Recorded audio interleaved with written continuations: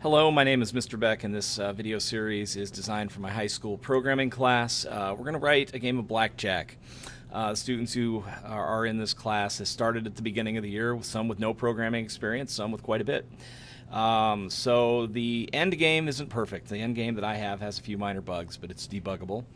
Um, this video is just to get you started if you're interested in Java or Android and you'd just like to try to write a blackjack game, which is something people, you know, a lot of times uh, would like to try. You know, uh, I had fun making it.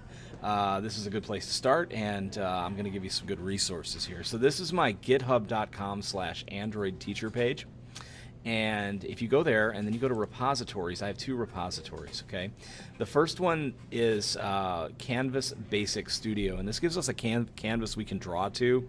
You can check that out and you can work through the series with me. If you're in my class, that's what I'm going to ask you to do. Uh, pick up that canvas, and then we're going to start drawing to it, and we're going to build the game step by step.